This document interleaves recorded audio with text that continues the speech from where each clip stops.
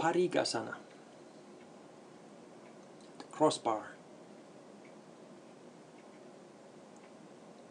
Sitting in Sukhasana, you prepare yourself. In standing pose, you prepare yourself in Tadasana.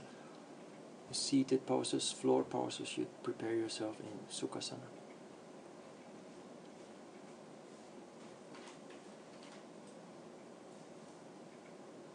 Emulating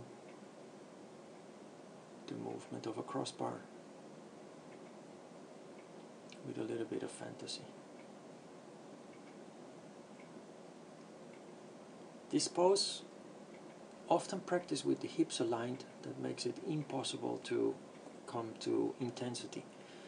Allow the pelvis, like the triangle pose, allow the pelvis to rotate a little bit. And this will accommodate the bending to the side to a very to a very deep level leading to enormous intensity in the pose. An intensity that cannot be achieved when the hips are forced in an aligned position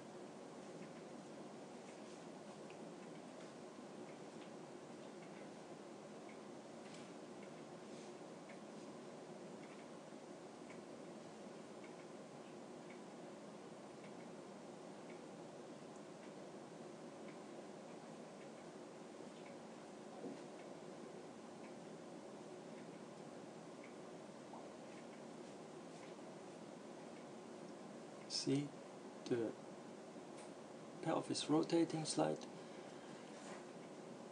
The hands do not have to join. This totally depends on your flexibility. If you are flexible, you can join the hands eventually. If you go into this pose with the goal of joining the hands, you will simply bend forward and bring the chest down toward the floor. While in reality, to, to have the proper effect from this pose, you open the chest instead of bending forward. So you try to maintain a hollow back while you bend to the side.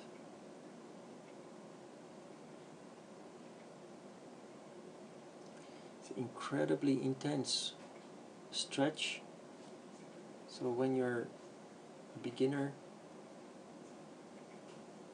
not so flexible yet and maybe not in such a very good condition yet, do not push yourself too much to avoid torn muscles, to avoid injury. Remember that yoga is not about a pretty pose. It's not about visual effects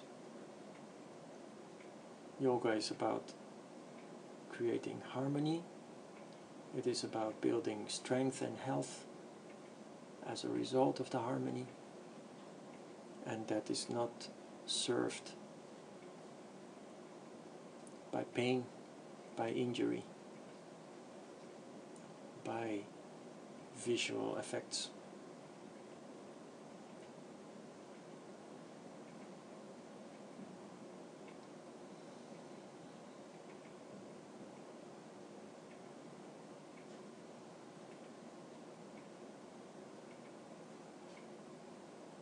Can see because of the nature of the pose we take a rest sitting on the knees rather than going back to Sukhasana.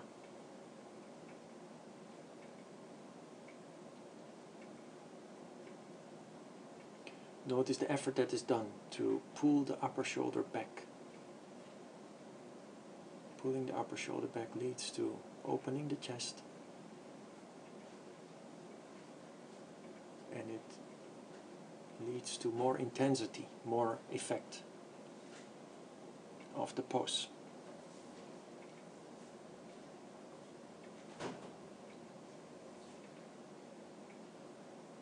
Take a little rest, a deep breath, allow the energy to settle down.